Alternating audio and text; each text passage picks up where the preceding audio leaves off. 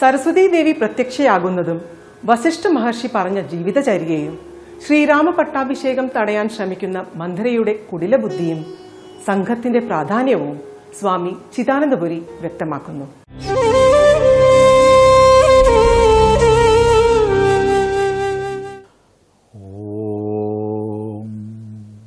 ഗുരുർബ്രഹ്മാ ഗുരുർവിഷ്ണു ഗുരുർദേവോ മഹേശ്വര गुरुसाक्षात् परं ब्रह्म। तस्मै श्रीगुरवे नमः।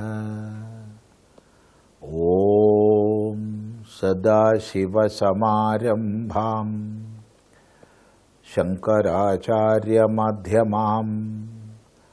अस्मदाचार्यपर्यन्तां वन्दे गुरुपरम्पराम्।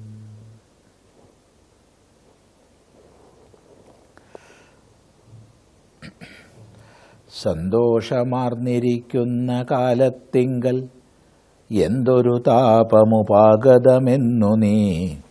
ചൊല്ലുവാൻ കാരണം ഞാൻ അറിഞ്ഞില്ലതിനില്ലൊരവകാശമേതും നിരൂപിച്ചാൽ. എന്നോട് രാമകുമാരനോളം പ്രിയമെന്നുള്ളിലാരെയുമില്ല മറ്റോർക്ക നീ. അത്രയുമല്ല ഭരതനേക്കാൾ മമ. പുത്രനാം രാമനെ സ്നേഹമെനിക്കേറും.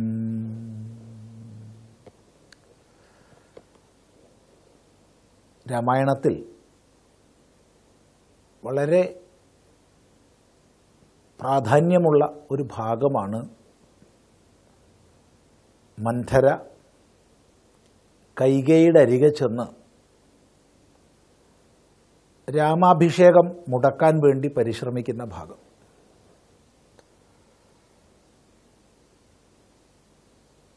എല്ലാ രാമായണങ്ങളിലും ഏറെക്കുറെ ഒരുപോലെ പരാമർശിക്കപ്പെട്ട ഭാഗമാണ്.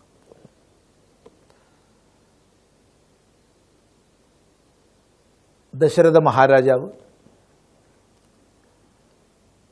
എല്ലാ സാമന്ത രാജാക്കന്മാരുമായും മന്ത്രി മുഖ്യന്മാരുമായും എല്ലാം ചർച്ച ചെയ്തു. ശ്രീരാമനെ യുവരാജാവായി അഭിഷേകം ചെയ്യുന്നതിൽ എല്ലാവർക്കും സമ്മതമെന്ന് മാത്രമല്ല അത്യന്ത സന്തോഷവുമാണ്. അങ്ങനെ തന്റെ ഇംഗിതം തന്റെ സങ്കല്പം വിദ്വാൻമാരുമായി പങ്കുവെച്ച് മന്ത്രിമാരുമായും സാമന്ത രാജാക്കന്മാരുമായും എല്ലാം പങ്കുവെച്ച് അതിനു മുമ്പായി തന്നെ ഗുരുനാഥനുമായി പങ്കുവെച്ച് അങ്ങനെയാണ് രാമന്റെ അഭിഷേക വിഷയത്തിൽ നിശ്ചയമെടുക്കുന്നത്. നേരിട്ട് ശ്രീരാമനോട് അറിയിച്ചു. ശ്രീരാമനാകട്ടെ ഗുരുനാഥൻ വസിഷ്ഠൻ നിർദ്ദേശിച്ച ജീവിതക്രമങ്ങളെല്ലാം പാലിക്കുകയാണ്. പ്രത്യേകം പ്രത്യേകം ആചരണങ്ങൾ ചെയ്യാൻ പറഞ്ഞതെല്ലാം പാലിക്കുകയാണ്. നാട്ടിലാകെ ഉത്സവം. അയോധ്യയിൽ മുഴുവൻ പതാകകൾ ഉയർന്നു.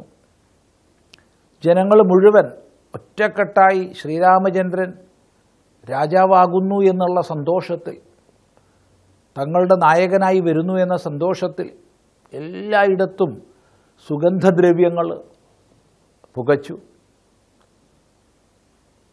മുഖ്യ രാജവീഥികളും മറ്റെല്ലാ വീഥികളും കഴുകി വൃത്തിയാക്കി.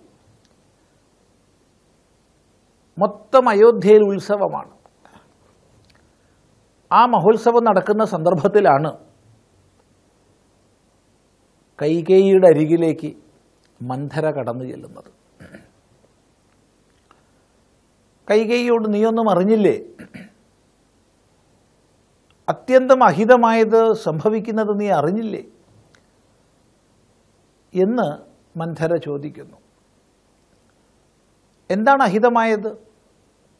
എന്ന് അന്വേഷിച്ച കൈകേയിയോട് ശ്രീരാമൻ രാജാവായി അഭിഷേകം ചെയ്യപ്പെടുന്നു എന്ന വാർത്ത അറിയിച്ചു. അത്യന്തമായ സന്തോഷത്തോടുകൂടി ആനന്ദത്തോടുകൂടി കൈകൈ പ്രതികരിക്കുന്ന ഭാഗമാണ് കളിപ്പാട്ടിൽ നിന്ന് നമ്മൾ ഇന്ന് ശ്രദ്ധിക്കുന്നത്. ആ വാക്യങ്ങൾ ശ്രദ്ധിച്ചാൽ എത്രമാത്രം ആനന്ദവതിയായി കൈകൈ എന്നുള്ളത് മനസ്സിലാവും. എന്നല്ല. തന്റെ പുത്രനായ ഭരതനേക്കാൾ തനിക്ക് പ്രേമം ശ്രീരാമനോടാണ്. ശ്രീരാമൻ എല്ലാവരെയും സ്നേഹിക്കുകയും ആദരിക്കുകയും ചെയ്യുന്നവനാണ്. സമദർശിയാണ്.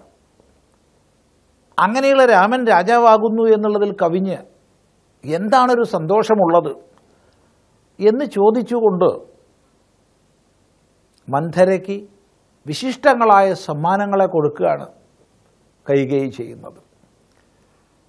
ആ ഒരു ഭാഗം നമ്മളിവിടെ ശ്രദ്ധിക്കുന്നതിൽ വിശേഷമായ സാങ്കത്യം എന്തെന്നാണെങ്കിൽ ഇത്രമാത്രം സന്തോഷവതിയായി ശ്രീരാമനോടുള്ള പ്രേമാധിക്യത്തോടുകൂടി വാത്സല്യത്തോടുകൂടി ശ്രീരാമൻ രാജാവാകുന്നതിനെ ഹാർദമായി സ്വീകരിച്ച ആളാണ് കൈകൈ. അത് കാണിക്കാനാണ് ഈ ഭാഗം വായിക്കുന്നത്. എന്നാൽ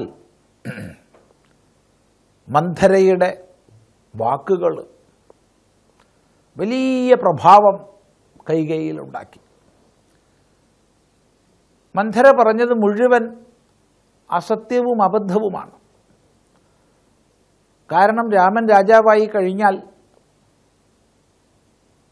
രാമന്റെ അടിമയെപ്പോലെ കഴിയേണ്ടി വരും ഭരതനെന്നും. രാജ്ഞിയായി കൗസല്യ വർത്തിക്കുമ്പോൾ കൗസല്യയുടെ ദാസ്യവേല ചെയ്യേണ്ടി വരും കൈകേയിക്കെന്നും മറ്റും പറഞ്ഞത് അത്യബദ്ധമാണ്.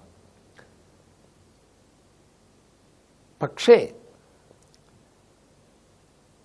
അത്തരം വാക്കുകൾ ചിന്തിക്കാൻ പോലും കഴിയാത്തവളായിരുന്ന കൈകേയിക്കുള്ളിലേക്ക് പ്രവേശിച്ചു. പ്രവേശിച്ചെന്ന് മാത്രമല്ല രാമൻ അഭിഷേകം ചെയ്യാൻ വെച്ച സാമഗ്രികളെ കൊണ്ട്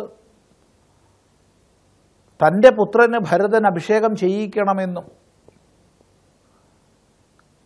അതിൽ കവിഞ്ഞ് ശ്രീരാമൻ പതിനാല് വർഷത്തേക്ക് വനത്തിൽ പോകണമെന്നും ആവശ്യപ്പെടുകയാണ് കൈകേയി ചെയ്യുന്നത്.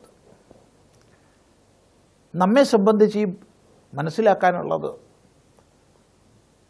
നമ്മുടെ കൂട്ടുകെട്ടുകളുടെ സംഘത്തിന്റെ പ്രാധാന്യമാണ്. എത്രമാത്രം പ്രഭാവമാണ് ദുസ്സംഗത്തിനെന്ന് വാക്കുകൊണ്ട് പറയാൻ കഴിയില്ല. രാമനെ ഏറ്റവുമേറെ സ്നേഹിച്ചിരുന്ന വാത്സല്യത്തോടെ നോക്കിയിരുന്ന കൈകേയി മാതാവിൽ രാമനെ പതിനാല് വർഷത്തേക്ക് കാട്ടിലയക്കത്തക്ക വൃത്തിയെ ഉണ്ടാക്കിയെടുക്കാൻ മന്ധരയ്ക്ക് സാധിച്ചു.